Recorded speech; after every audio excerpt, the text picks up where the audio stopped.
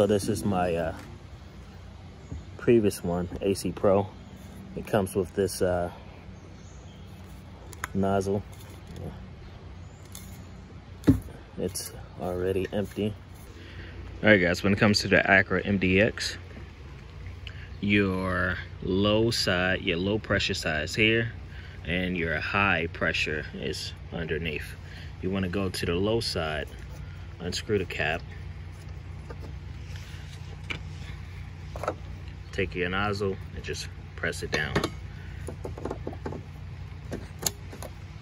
Like that. And now we're gonna start this bad boy up real quick and see if we can get a quick charge and see exactly where uh, our pressure is. We turned on the unit, and now we're gonna turn the pressure all the way down to 60. And now we're going to throw in some uh, Freon. All right, so indeed, we did get the last remaining uh, Freon out the can, and now we have our new can. And what we're going to do is pop this bad boy on here. Just want to kind of show you guys what's going on here. So we need to put an adapter piece on here. Let me see if I can find that. Right, guys, it's raining again. Uh, but this is the adapter piece that you need to put on top. So I'm gonna get this installed and then get everything hooked up. Again, this is the adapter hose.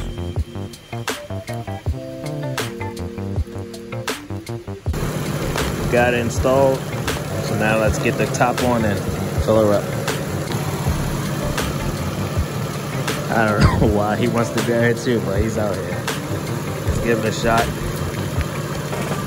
Now we can see our pressure is going up. So what we want to do is kind of get in the middle. Just burst shots.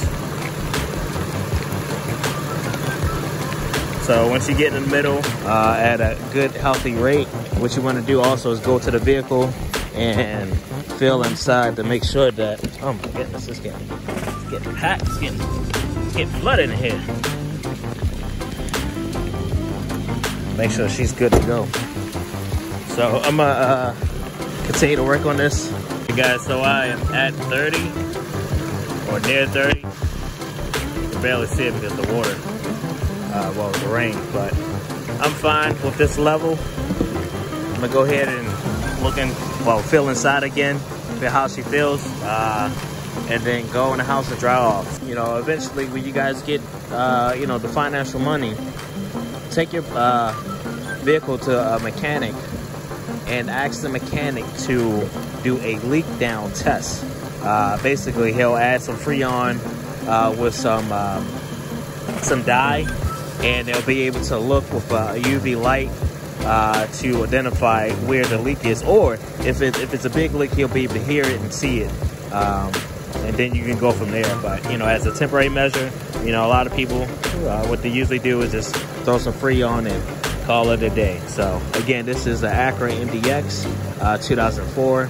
Uh, if you have any vehicle uh, such as the Acura TL, CL, uh, this should also apply to you as well as the Honda, uh, what is the name? Odyssey. So, all right.